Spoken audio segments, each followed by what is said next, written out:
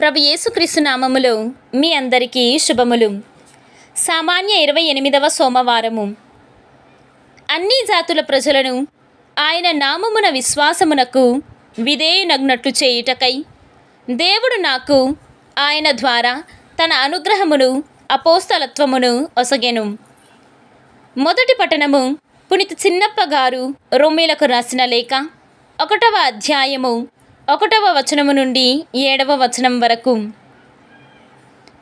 యేసుక్రీస్తు సేవకుడు అపోసులుడుగా ఉండుటకు పిలువబడినవాడు సువార్త నిమిత్తము ప్రత్యేకింపబడిన వాడనైన పౌలు వ్రాయునది.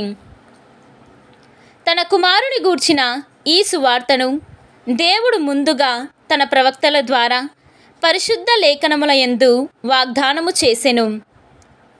మన ప్రభువైన యేసుక్రీస్తు మానవుడుగా దావీదు సంతతి అయి జన్మించెను. కానీ ఆయన మృతులలో నుండి పునరుత్నుడైనందున పవిత్రపరచు ఆత్మశక్తితో దేవుని కుమారుడుగా నియమింపబడెను. అన్ని జాతుల ప్రజలను ఆయన నామమున విశ్వాసమునకు విధేయునగునట్లు చేయుటకై దేవుడు నాకు ఆయన ద్వారా తన అనుగ్రహమును అపోస్తలత్వమును ఒసగెను. మీరు వారిలోని వారి. యేసుక్రీస్తు ప్రజలుగా ఉండుటకు దేవుడు మిమ్ము పిలిచెను. రోము నగరమునందలి పరిశుద్ధులుగా ఉండుటకు పిలువబడిన దేవుని ప్రియులందరికీ శుభమును కోరుచు వ్రాయునది. మన తండ్రి దేవుని నుండి ప్రభువగు యేసుక్రీస్తు నుండి మీకు కృప సమాధానము కలుగునుగాక. ఇది ప్రభువాక్కు సర్వేశ్వరునికి వందనములు. భక్తి కీర్తన. ప్రభువు తన రక్షమును ఎరిగించెను.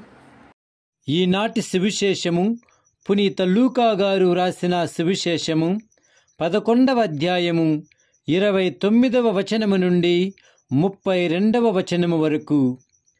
ప్రజలు అనేకులు అచ్చట చేరగా యేసు ఇట్లు చెప్పనారంభించెను. ఈ తరము దుష్టమైనది. ఇది ఒక అద్భుతమును కోరుచున్నది. కాని యోనా చిహ్నము కంటే వేరొకటి అనుగ్రహింపబడదు.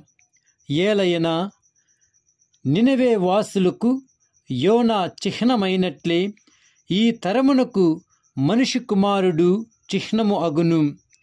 తీర్పు దినమున దక్షిణ దేశపు రాణి వీరి ఎదుట నిలిచి వీరిని ఖండించెను.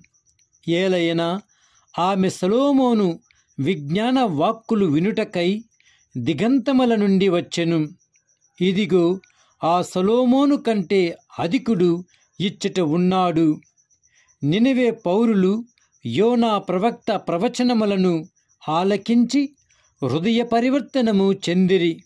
కనుక తీర్పు దినమున వారు వీరి ఎదుట నిలిచి వీరిని ఖండింతురు. ఇదిగో యోనా కంటే గొప్పవాడు ఒకడు ఇచ్చట ఉన్నాడు. ఇది క్రీస్తు సువిశేషము. క్రీస్తువా మీకు స్థుతి కలుగునుగాక.